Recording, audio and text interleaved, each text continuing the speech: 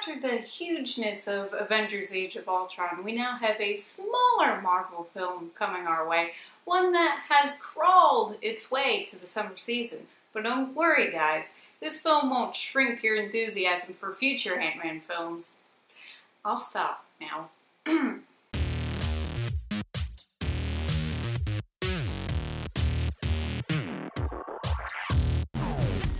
So Ant-Man is the latest Marvel movie to come out this summer. It has a different vibe from most Marvel movies, but it definitely belongs in this universe and is a great addition to Marvel movies. So the Ant-Man of this movie is Scott Lang, played really well by Paul Rudd. He is an expert thief who has just gotten out of prison uh, but has a family and is trying to make up his jail time to his daughter. But then he gets recruited by Hank Pym, the original Ant-Man, who's trying to stop Darren Cross, the guy who's taken over Pym's company and is trying to take Pym's Ant-Man serum and basically weaponize it and use it for bad things instead of good things. And Scott is trained by Pym and Pym's daughter Hope to develop him into the Ant-Man.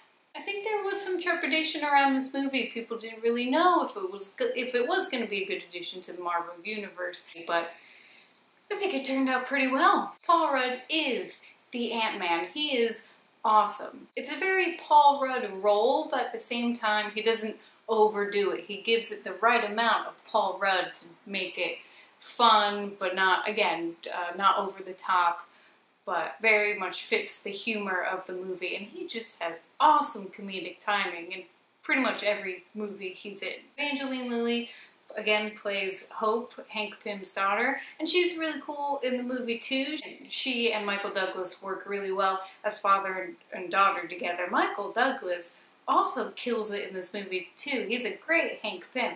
I don't know that much about the original Ant-Man comics, but I do know that Hank Pym is the original Ant-Man and that in this movie he's passing the Ant-Man legacy on to Scott Lang. I actually don't know if his character was made up for uh, this movie and the Marvel Cinematic Universe, so someone can tell me that in the comics if that's right or not. But to bring in the main weak point of the movie is the bad guy, Yellow Jacket, or Darren Cross, played by Corey Stoll. It is not Corey Stoll's fault, he does a great job. He just ends up being kind of a cliched villain, something we've seen before. The design of Yellow Jacket himself is really cool, like he is pretty badass looking. But character-wise, it's just pretty much everything we've seen before. The thing that would have made it made his character much more interesting is the fact that Hank Pym was his mentor. And there is a flashback in the movie very briefly to when Hank Pym is a little younger.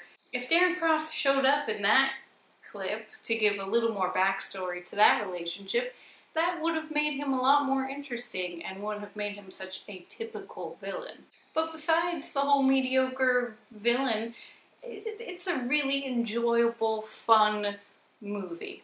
No, it's not on the same scale as Avengers or Guardians of the Galaxy, but it's not supposed to be. Ant-Man is an unconventional superhero and they make it work in this movie. They work in the shrinking scenes really well and even the CGI ants, like, it's still all pretty entertaining to watch and they do a really good job with the Ant-Man character. And also they do make a lot of references to the Avengers and the rest of the Marvel Cinematic Universe and they tied all of that in really well. But for being a great addition to the Marvel movies, for being just a, a fun, cool heist movie as well, which is a weird direction for Marvel movies to go in, but hey, again, it all works in this movie. So for all of that going for it, I'm going to give Ant-Man a nice and a half.